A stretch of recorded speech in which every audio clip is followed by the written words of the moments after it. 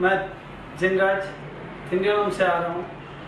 मेरे घुटनों में दर्द पिछले एक दो महीने से है। मेरे को लग रहा था कि कोई काम हो पाएगा या नहीं करके।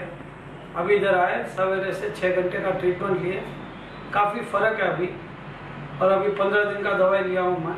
वो लेने के बाद और फ़र्क हो सकता है ऐसे। मैं मानता हूँ। और पंद्रह दिन के बाद क्या अपडेट है वो बाद में बताता हूँ। नवीन। मैं नवीन कुमार हूँ। तिलियनम से आया हूँ।